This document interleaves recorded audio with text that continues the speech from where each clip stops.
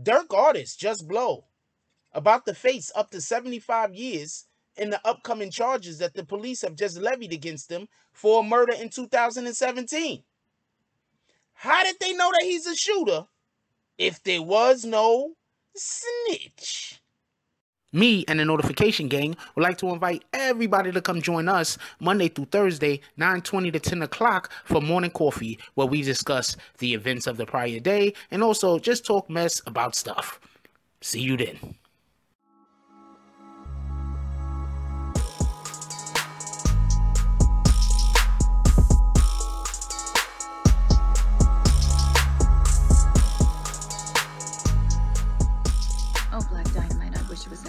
But this is much bigger than you and me. Hey, little mama. It may be bigger than you, and it may be bigger than me, but it ain't bigger than you and me. Can you dig it? BBN Jack Frost. What's up, party people? I so yeah. So apparently another little Durk artist uh, a rapper signed to the label i believe the name of the label was the family now has legal issues.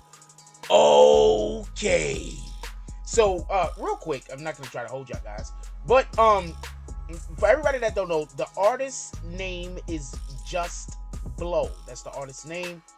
Uh he's he was signed to little Durk's label. I think it's only the family. I think that's the name of the label. And he had been signed to Little Durk's label. And now all of a sudden, charges are coming out about a uh, murder that they're saying that he was in that he was uh, connected with, and also there are other felonies that they also are trying to uh, blame on the rapper. Now, just so we can be clear, the rapper's real name is Justin Mitchell. And during a uh, 2017 robbery, and which turned into a murder, by the way, uh, basically what happened was they went to an apartment. They were attempting. They, when I say they, I mean uh, just so we can be clear, I mean Justin Mitchell, just just uh, Blow, and his uh, co-defendants, Paradise Haynes and uh, Lucky R. Taylor. I- I'm gonna assume Paradise is a female. I'm just I'm just gonna assume that. I mean, we live in a whole different day and age nowadays. If somebody is naming a boy Paradise, I don't know what to tell you, but it's a possibility. So, um, the co-defendants are apparently someone named Paradise Hayes and another individual named Lucky Taylor. So, uh, the three had been accused. They were trying to rob somebody named Khalil Carter. They pulled up to the individual's apartment. Um, whatever, whatever happened, things went left. Khalil Carter was subsequently murdered. This is the charge that he is now being charged with. Um, a couple of things I want to say, and this is another reason why I believe that Paradise might be a female, is because I'm telling you, man, they like they like lining people up with these women. Remember, that's what uh Tay-K as initial charge, or the one that is giving him the most time it revolves around a girl opened up the freaking door, let Tay-K and his people in to go rob somebody that she said was a drug dealer. But she like 14 years old or something like that at the time. 14, 15. I, well, first of all, homeboy shouldn't have been, you know, that that shouldn't have been his girlfriend, obviously. If she's 14, 15 years old, that's crazy. Um, and he was a grown man. I think he was like 18, 19 or something like that, maybe 20. So uh what what happened in the Tay-K case is the girl believed her boyfriend to be drug dealers, or at least that's what she told Tay-K and his accomplices or their accomplices. Uh, she opens up the door, they come into the house, everything goes wild because basically there's no money or drugs for them to steal because they weren't drug dealers. So, yeah, that happened. Anyway, in this particular case, uh, that's why I'm assuming Paradise is a female. They tried to rob Khalil Carter. Everything went left, and uh, he was subsequently murdered. Um, anyway, so Just Blow is they're basically saying that he was the gunman in this particular situation. And I'm just gonna be honest with you, Th- just so we can be clear. There has to be somebody. If if me, you, and another person go commit a crime, crime, pardon me, we go commit a crime, we murder somebody, we the only ones that walked out of the scene alive, and you know the police solved the murder or at least connect us to the murder years later, and they somehow know who the shooter was. There's a really good chance someone snitched. I'm just saying. Um, he also believes, just so we can be clear, Just Blow also believes someone snitched on him. Um, I'm I'm not saying how I feel about this. We shouldn't be out there murdering individuals and trying to rob individuals. We shouldn't be doing that. So I'm not I'm not weighing in on how I feel about this. I believe that man should still have his life. How about that? Anyway, um, Tyler's facing a similar time behind bars.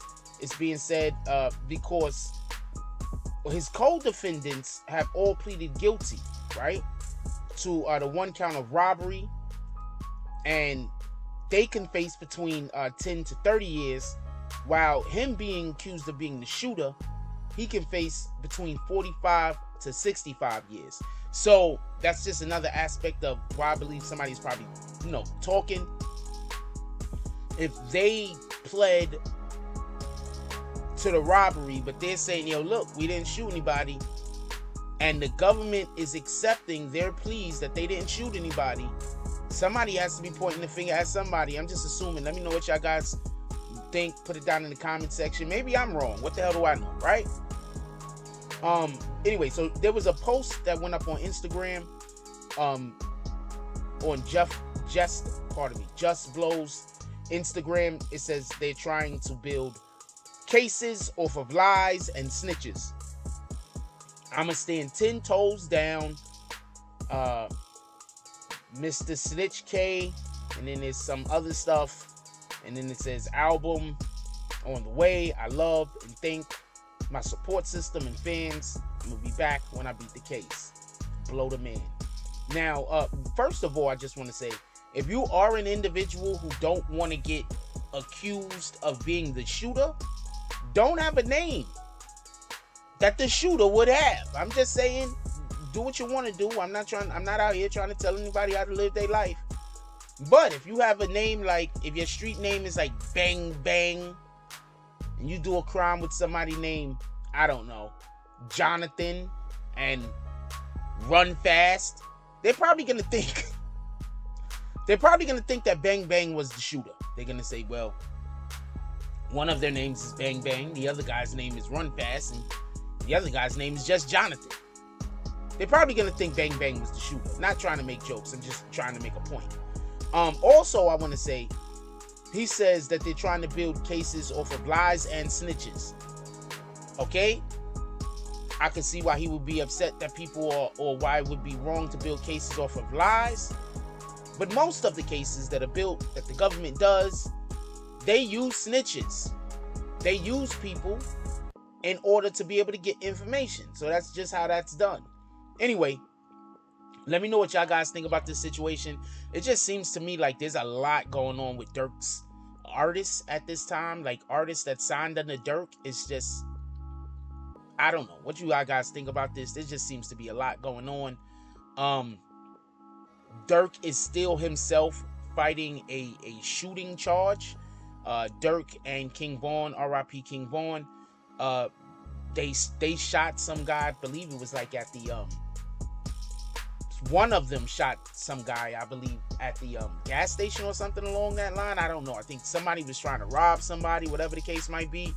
Uh, an individual got shot, survived, and now they were actually fighting that case before the tragedy that happened with Durk. I mean, pardon me, before the tragedy that happened with King Von. So they're still up for that. They they still have to go to court and see how that's gonna play out.